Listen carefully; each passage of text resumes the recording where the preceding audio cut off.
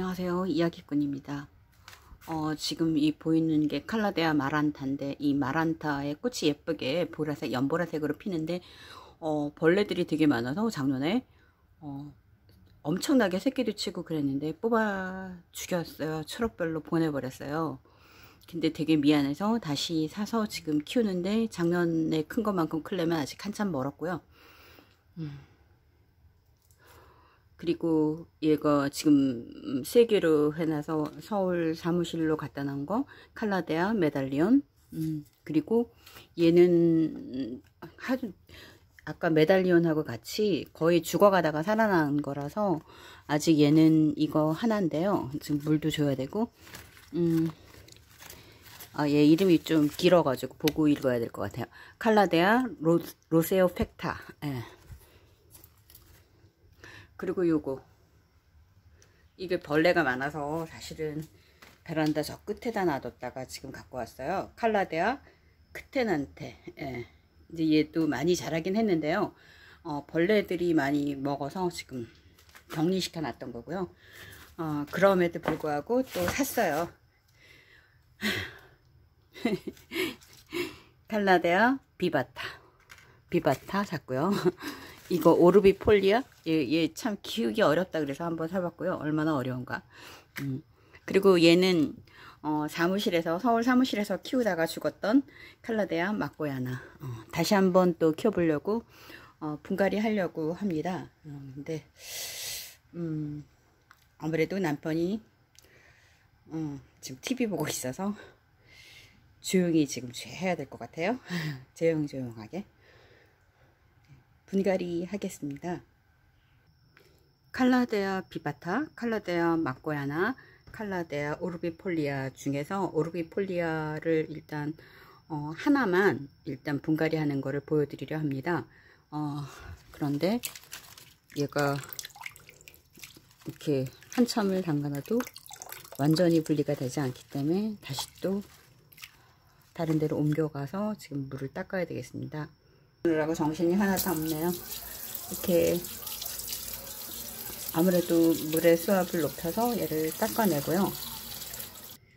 아, 수돗물을 강하게 해도 어, 최선이 여기까지였던 것 같아요. 지금 피트머스가 아마도 이 뿌리에 붙어 있는 것 같은데요.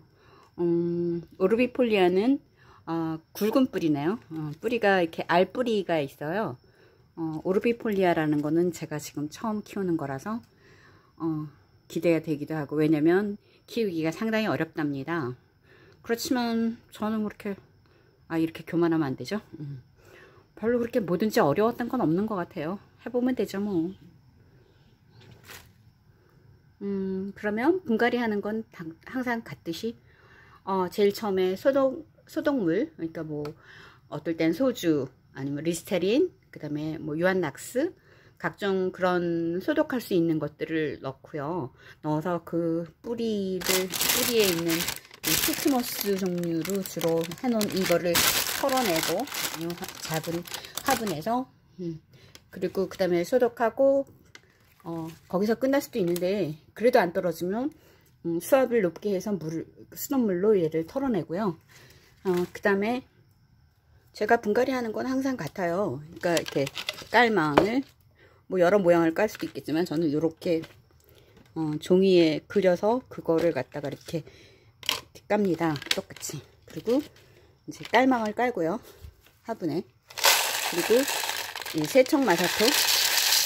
아 전에는 세척마사토가 없을 때는 2008년도에는 음 이거를 다 처음엔 그냥 했다가 화분이 더러워지고 뭐 그래서 그리고 막히고 그러니까 열심히 막 엄청나게 빨아서 썼고요. 지금은 이렇게 따로 파니까 좋네요. 음, 이렇게 하고요. 그 다음에는 이 어, 원해상토 어, 원해상토 3대 펄라이트 1, 1의 비율로 이렇게 섞어서요. 이렇게 섞은 거를 음, 넣어요. 이렇게 넣고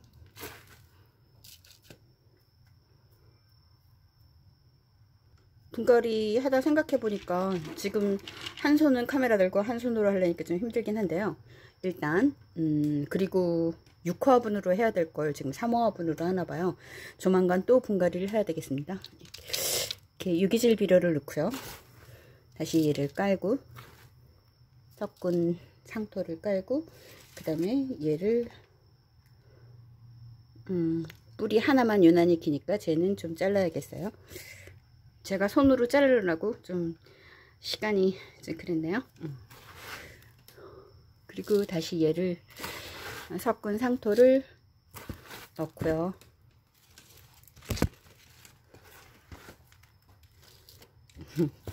아무래도 한 손이 불편하긴 하군요.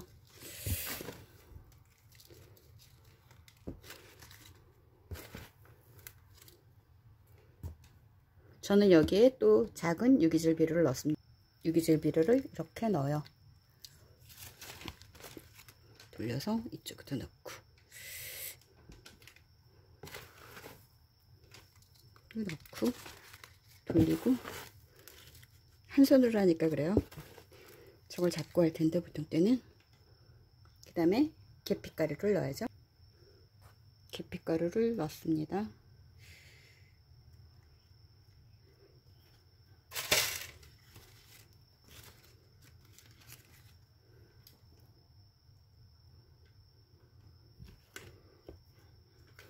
그리고 계피가루 위에 다시 또 흙을 넣어요.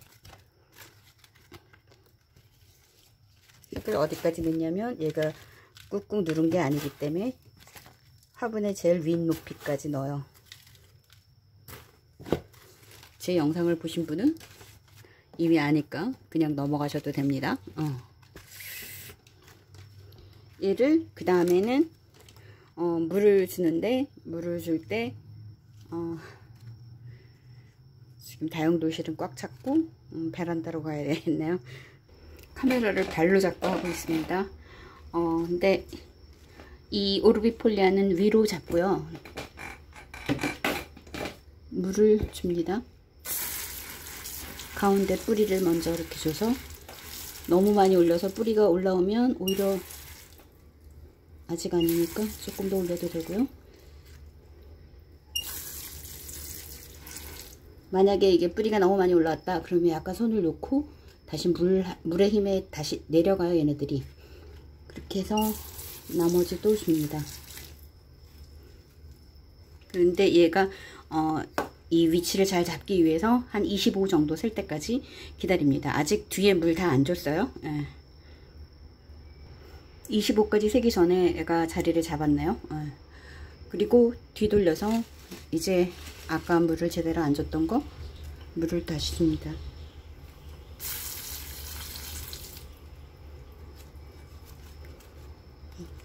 그래도 혹시 만약에 이게 뿌리가 나왔다면 내리고 힘을 빼면 됩니다. 근데 조금 덜 나왔다면 최대한 뿌리는 보이지 않게 올립니다.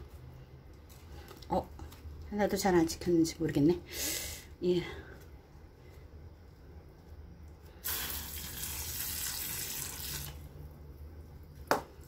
이게 초벌 물, 물 주는 거고요. 어, 그 다음에 30분에서 1시간 뒤에 한 번, 그리고 또 30분에서 1시간 뒤에 또 한 번 해서 총 3번을 물 주고 분갈이 끝 합니다. 어, 영상은 여기서 마치겠습니다. 감사합니다.